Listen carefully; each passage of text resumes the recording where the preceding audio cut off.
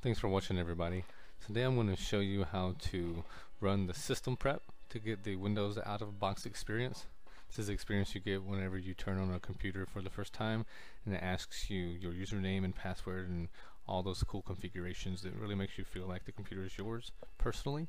So this is really good if you are building a computer at home using a disk that you picked up from your retailer locally or if you were reselling a computer and would like to prep it for the new person. So basically, uh, if you're installing, you'd install Windows like you've seen here in the video. Um, first thing you're going to do is you're going to get everything installed and get to the user account creation window, which is right here. This is where you'll press and hold Control Shift F3 and you'll restart your computer will restart all the way back from the BIOS and will boot into Windows under a temporary account. And this account will be deleted whenever you restart the computer or shut it down for the final time after you set up your system.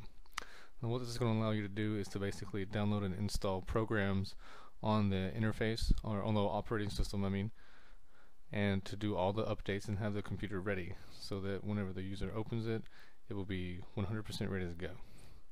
Things like virus protection or recommended codecs um, file browser, I mean file creation, and uh, many other programs are really, really nice to have. So we're just going to watch this go through here, finish that. Now here you see I went okay with the reboot option. This is if you're, this is just to show you basically what's, uh, what it does.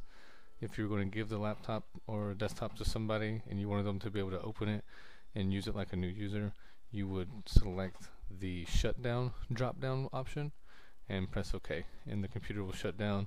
The next time it's turned on you'll get the experience you're seeing right here.